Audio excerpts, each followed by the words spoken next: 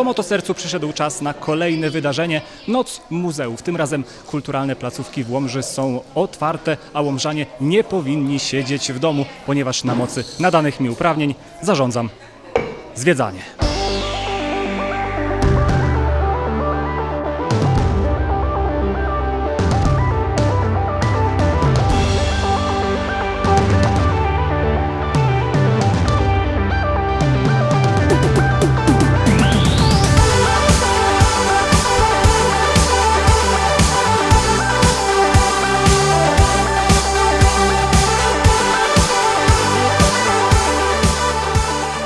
Raz pierwszy Sąd Okręgowy w Łomży uczestniczy w Nocy Muzeów, Łomżyjskiej Nocy Muzeów i chcę powiedzieć, że mm, chcemy pokazać sąd przyjazny, bo sąd na co dzień mm, prawdopodobnie kojarzy się z rzeczami nieprzyjemnymi, z sądzeniem, z wydawaniem wyroków. My natomiast w Noc Muzeum chcemy pokazać, że sąd również uczestniczy w życiu codziennym obywateli i również chcemy pokazać sąd przyjazny wszystkim ludziom.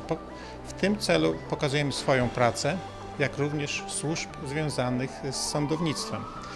Tutaj y, swój sprzęt reprezentuje chociażby zakład karny w Czerwonym Borze, który to nawet urządził celę. E, Ta cela na co dzień oczywiście w sądzie nie funkcjonuje, ale w dniu dzisiejszym to jest to cela taka, jaka jest w zakładzie karnym, cela, której na dzień dzisiejszy również przebywa osoba skazana.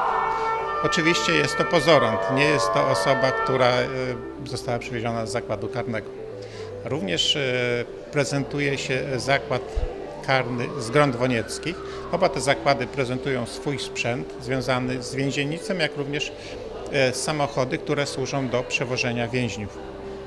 Chcę również powiedzieć, że reprezentujemy stroje, stroje osób, które uczestniczą w postępowaniach. Są to stroje sędziego, stroje ławników, stroje adwokatów, radców prawnych i to jest prezentowane na sali numer dwa.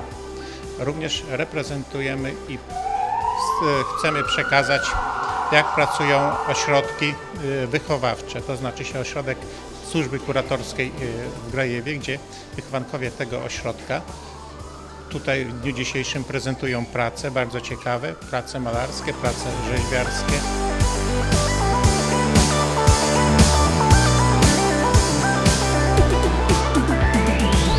Widać e, w Teatrze jest gwarno, e, moc kultury. Ta nasza oferta jest e, myślę, że bardzo taka interesująca i bogata.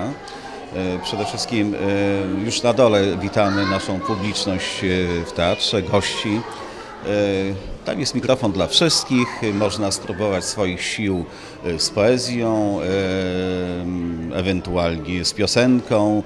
Przemieszczamy się trochę wyżej, tu z kolei pan jest casting, e, można spróbować e, zagrać jakąś rolę, ewentualnie dostać jakąś dobrą rolę teatralną, z kolei w sali prób e, mamy lalki, mamy kostiumy, można zrobić zdjęcia, ale przede wszystkim zobaczyć te wszystkie środki inscenizacyjne, które przez wiele lat gromadzimy i produkujemy w teatrze.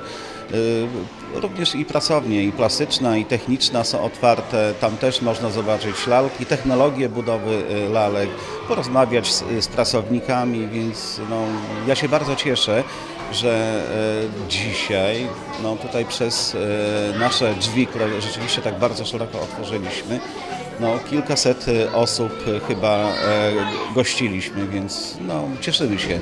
I przede wszystkim zapraszam no, na nasze spektakle, dlatego że to dzisiejsze nasze e, wydarzenie kończy się spektaklem Zaczarowany Jeleń, na które zapraszam. Chociaż pogoda nie dopisała, w każdej placówce są zwiedzający. Może dlatego, że jest to jedyna taka noc w roku.